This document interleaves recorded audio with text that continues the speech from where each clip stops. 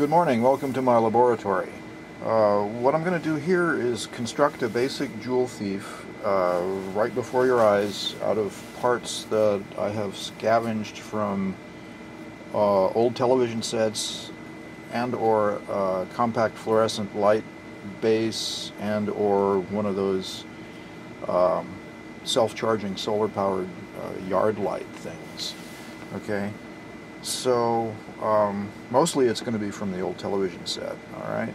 So what you need is the parts here. You need the transformer part and uh, this is the easiest one that I've found to use. Comes right straight out of an old television set.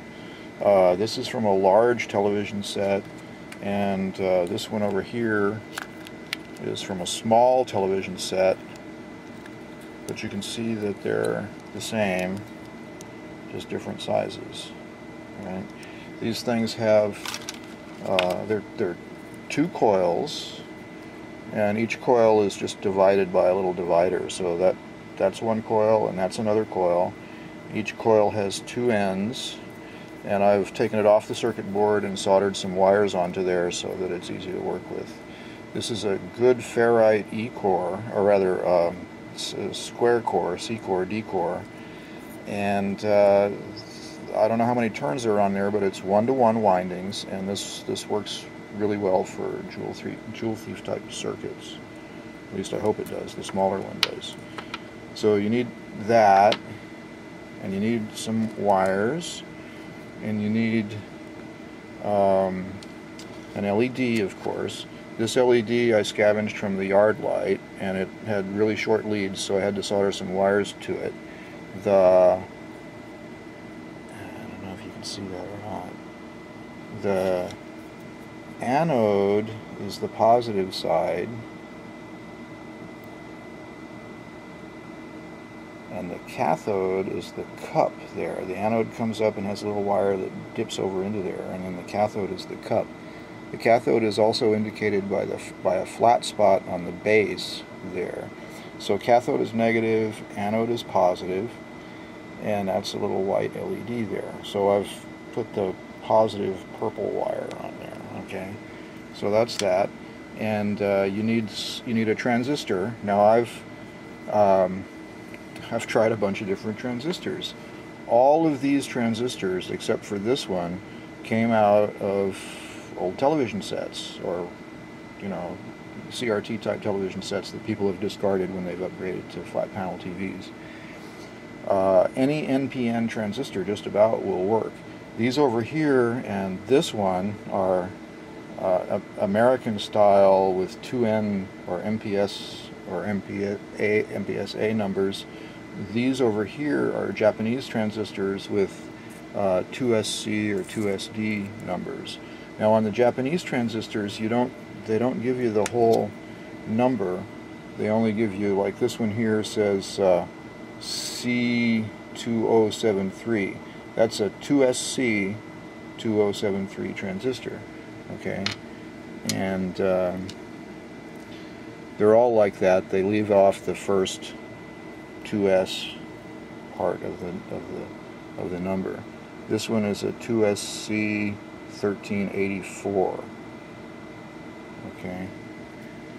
Now the transistors have different pinouts.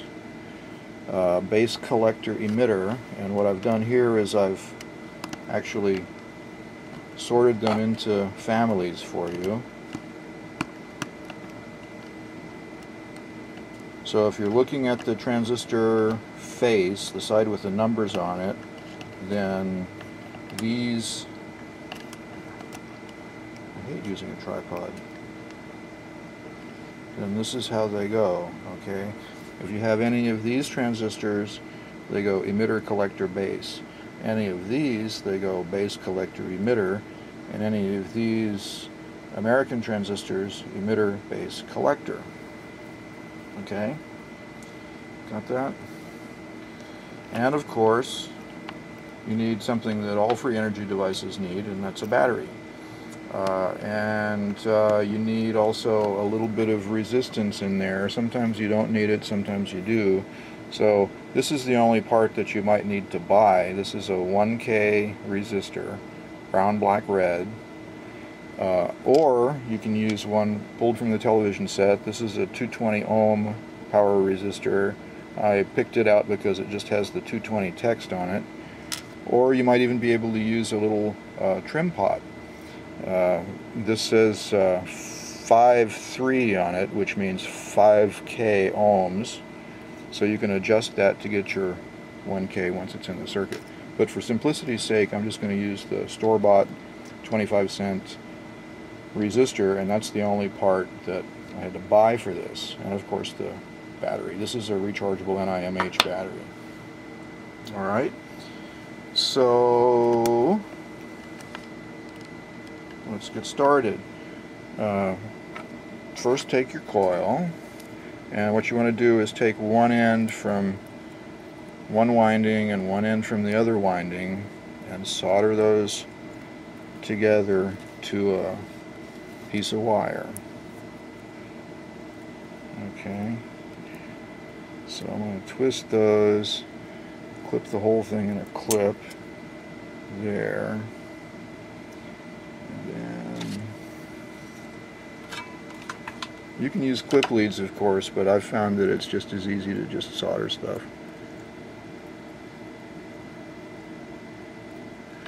Alright, so two ends, one end from each coil soldered together to a purple wire. Okay, now take, uh, set that aside for a moment and select the transistor you want to use. I'm going to just use one of these because it's big enough. This goes ECB, right? So to the base of this transistor, solder your resistor.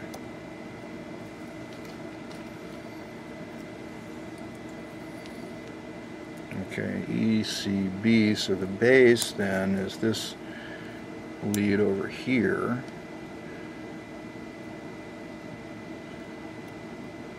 ECB. Right. I have not rehearsed this. I hope it works.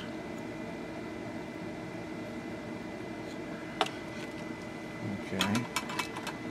And the LED goes across the transistor from emitter to collector with the anode on the collector. So the anode then is the positive over here and the collector is the center lead of this transistor.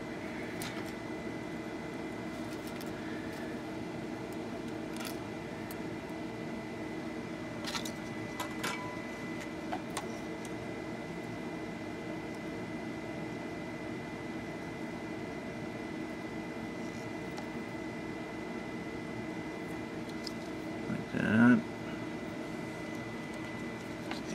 And also to the collector, we solder one of the free ends of the coil of one of the of one of the coils. Yeah. Okay.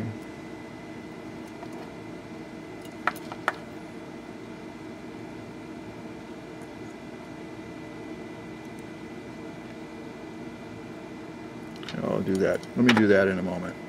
I'll do that in a minute. Okay, so at the other end of the transistor gets the, or rather the uh, emitter of the transistor gets the negative lead of the LED, the cathode. So let's put that in our little magic fingers. And that also gets from the emitter, the negative, the cathode of the LED, that also gets a wire that goes to the negative side of the battery. So let's get another little wire here. And let's just add that to that same connection we're about to make right there.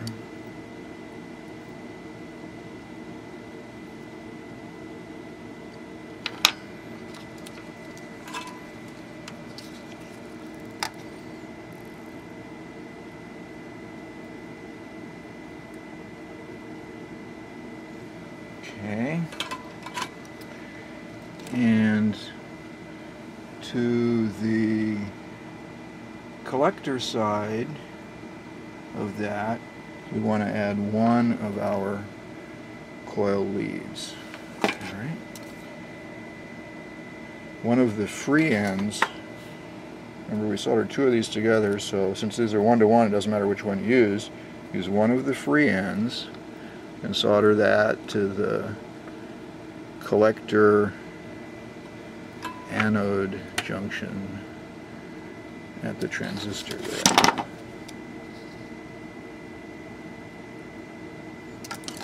Alright. Make sure you don't have any shorts in there. Okay. And then the other end, the free end of the coil, goes to the free end of your resistor over here.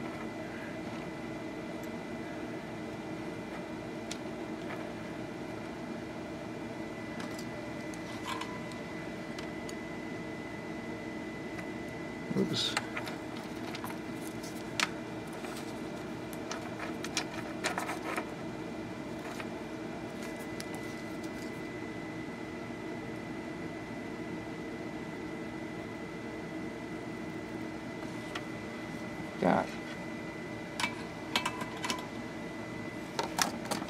And is that really all there is to it? We got a negative and a positive wire. So let's see what happens when we hook up the wires. Okay, if nothing happens when you hook up the light, then what you need to do is reverse one of the coil windings. Just one, not both, right? So the easiest one to get to right now is going to be the black and red one. So let's take the black lead off and the red lead off from here. okay, now let's put the red lead to the resistor. And then these two guys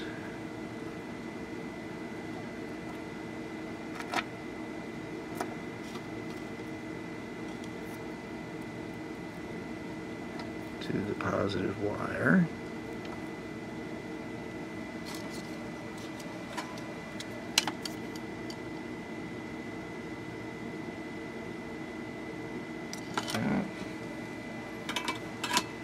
And try it again. Negative and positive. And there you go. There's your Joule thief.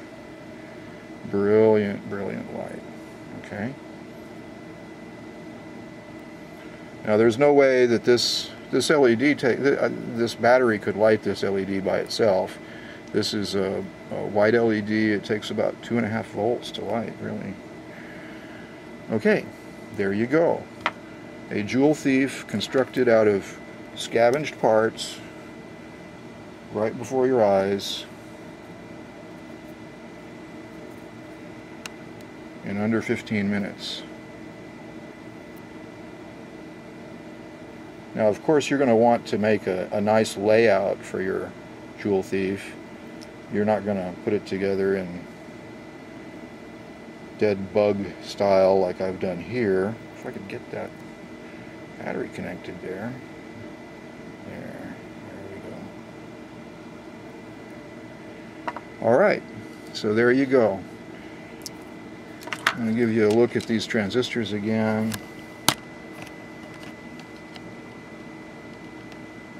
There are a lot of these little ones. They're marked 603. I don't know if they're 2SC 603 or not, these tiny little ones right here. There, I don't know, there were maybe a dozen of them that I pulled off the boards. They work really well uh, and are probably pretty efficient. Now, it's up to you to change transistors and see which ones are more efficient and which ones you like better. Just remember BCE for these ones, ECB for all of these. Thank you for watching.